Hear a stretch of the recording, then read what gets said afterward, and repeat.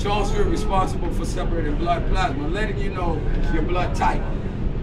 If he wants to explore to find new places on this planet, now that we travel to other planets, will he identify me? You've never heard of Thomas Henson and Matthew Perry, who in 1866 discovered the North Pole.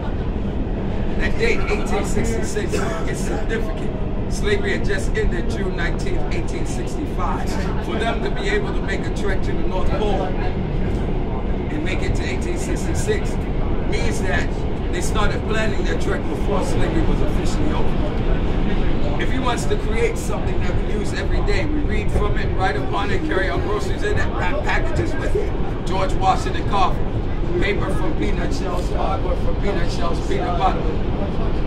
Each one teach one according to your knowledge. Frederick Douglass born a slave, escaped a runaway slave, taught himself to read and write, became an abolitionist he helped to abolish slavery, ambassador to Haiti, created and founded the first black newspaper, North Star.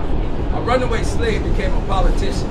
Today, that's equivalent to me escaping prison and then running for public office. Vote for me. Different circumstance, of course. Slavery was a blemish on American history.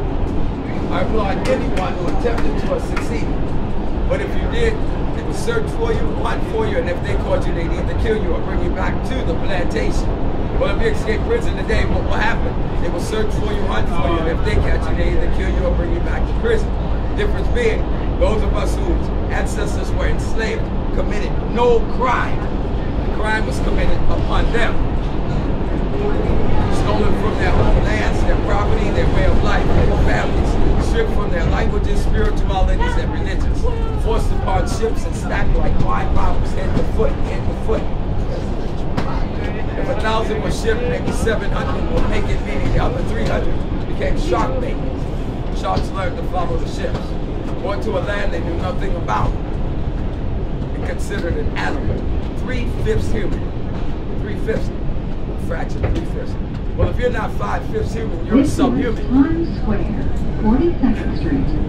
Fraction was so that those who were free black men would take two of them to make one. seven, A, And that continued until after the Emancipation Proclamation. The 13th and 14th Amendment Freight. stated no longer property, no longer to Grand Central. slave, no longer available to Port. Authority Bus Terminal. This is an accessible runaway station. slave became a the elevator is at the center of the platform. according to your knowledge. Give thanks and praise. Again, my name is Bob. I teach drum and drum culture, studied ethnomusicology at the University of Hawaii. I'm a teacher for an after-school program. The program is called New York Enrichment Group, performed for Mark Morris Dance Studios and for the same instructor at Tisch. Those of you who have Netflix, if you saw Spike Lee, She's Gotta Have It, first season, second episode, of the 10 part series you saw me. God bless. Hopefully those listening learn. God bless up with us. King, raise them well. Yes, definitely. Hold it down, brother. If you don't know your history, stop is you'll do 34th